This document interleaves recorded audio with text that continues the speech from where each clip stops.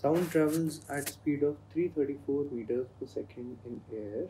This means that source of the sound moves? Definitely not. Listener moves? No. Air moves? Not at all. Disturbance in air moves. This is the right answer.